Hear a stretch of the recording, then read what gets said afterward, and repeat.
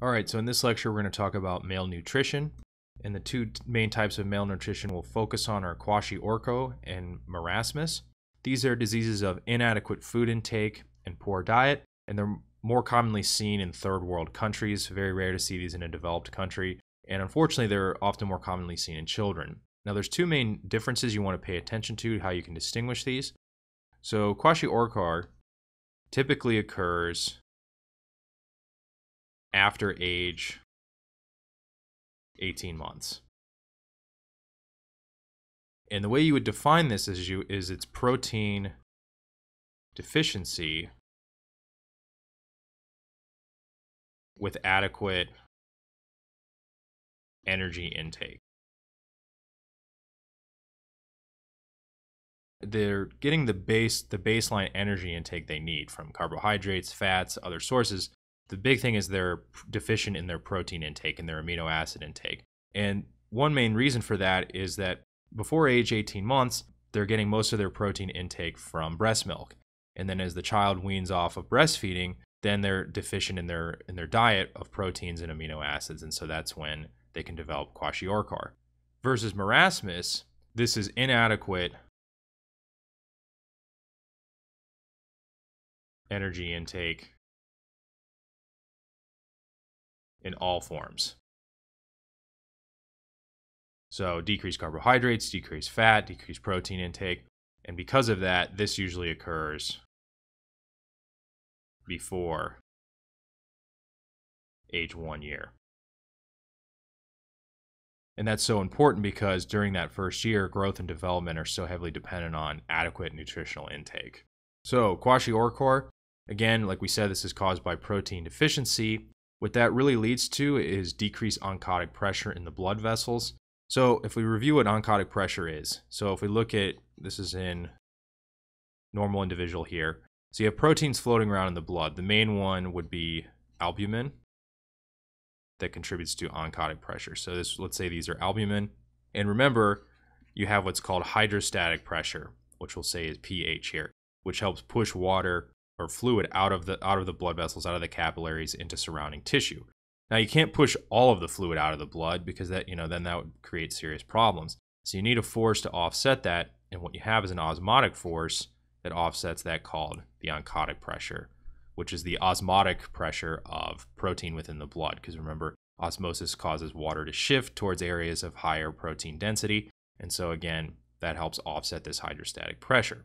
The problem in kwashiorkor is you have significant protein deficiency, which often manifests as decreased serum albumin. And so as you can see here, we have significant decrease in serum albumin.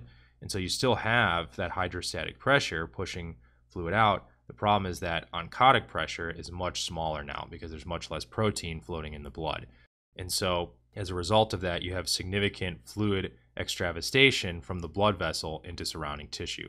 This leads to edema, which is a hallmark presentation of this of this disorder, and then you have fluid buildup as well. Protein deficiency, it also leads to decreased production of apolipoproteins. And remember from what we talked about in Unit 3, apolipoproteins transport fat away from the liver, the site of fat metabolism. So as a result, you have this buildup of fat in the liver, and so you have a fatty liver. The other thing that happens in these individuals is they have decreased production of immunoglobulins. And so as a result of that, they're susceptible to infections.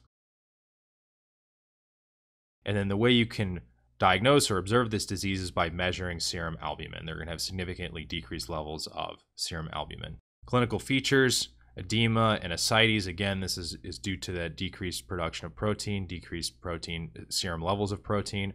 Diarrhea, this is thought to be due to loss of brush border intestinal enzymes. Swollen abdomen, again, due to that significant edema and ascites. Fatty liver changes due to those decreased levels of apolipoproteins. You will see less wasting in these individuals than you would in individuals with marasmus, and then decreased immunity, again, due to decreased immunoglobulin production. Now, marasmus, this is caused again by total calorie malnutrition of protein, fat, and carbohydrates. So, just total malnutrition, total inadequate energy intake.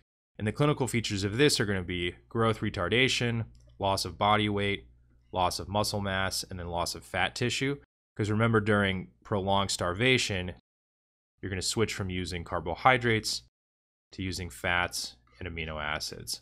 And so as a result of that, you're going to have breakdown of fatty acids, loss of adipose tissue, and then eventually going to lead to breakdown of protein. So you're going to lose muscle mass and other organ critical organ tissue as well to produce amino acids. And then in these in this disorder, edema may or may not be present. Now we're going to go to the whiteboard here for a second because with both of these disorders, when you're treating them, you, what you want to do is prevent something called refeeding syndrome.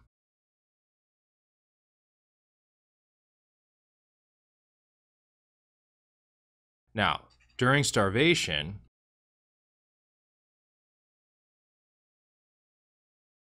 like we said, we're switching from carbohydrates to fat and amino acids. What happens is also during starvation is you have decreased insulin secretion because you're not eating, and then also you're at the same time having increased glucagon because you're trying to maintain at least the bare minimum levels of carbohydrate levels and other metabolites as well. So you have increased glucagon as a result of that. The other important thing to note during starvation is you have decreased cell stores of minerals such as phosphorus, magnesium, potassium, and that's to maintain normal serum levels. Because if you have dramatic fluctuations in these, such as potassium, that can cause abnormal heart rhythms and that can kill somebody. And so during even during starvation, the body's depleting these cellular stores to help preserve these serum levels to help pres- you know preserve heart function. Now, if you refeed someone too fast, what will happen is you'll have obviously an a increase of insulin that'll be resp- in response to the new elevation in blood glucose levels. And remember what insulin does in addition to promoting uptake of glucose is it promotes the synthesis of glycogen, fat, and protein.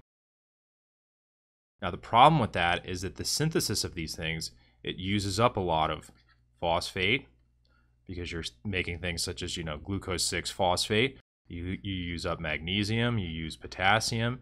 And so what happens is you as you further deplete the cellular stores of these, which then decreases serum levels. And when you decrease serum levels, like we said, you because what's going to happen is you're going to have movement of these electrolytes into the cell to try to replenish these depleted minerals that were used for synthesis of these of these metabolites. And so what happens is you have decreased serum levels, and then, like we said, that puts you at risk for abnormal heart rhythms. And so again, if you and so the bottom line is if you re- refeed too fast, you put patients at risk for abnormal heart rhythms. You can also see this in patients that have had energy depletion due to severe illnesses. So you definitely in certain patients in the ICU, you want to be careful of refeeding syndrome as well. Surgical, some surgical patients as well, trauma patients. Um, so this is not just relevant for patients that have undergone severe starvation. Now, the way you treat this is you refeed slowly but frequently. So this would be meals you know, every small meals every two to four hours per se. And so that again, you know, the idea is you want to gradually ease the body back into a normal, nourished state. All right, so that closes out our discussion of malnutrition and refeeding syndrome.